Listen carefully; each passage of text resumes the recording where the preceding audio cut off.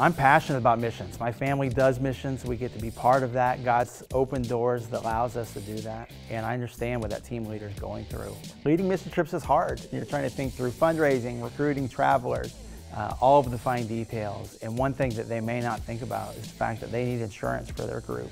We want them to be able to come to faithventures.com and know that they can come there, they can book their airfare, they can insure their trip, they can manage their team all at one spot. And through Faith Ventures, we get to come alongside and be partnered with them in what they're doing.